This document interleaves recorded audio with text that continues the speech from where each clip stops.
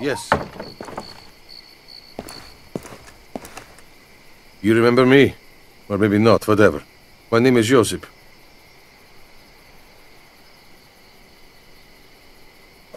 So, we have a patient here. He needs medicine. No problem. My garret there has pills, plenty of them. You ask.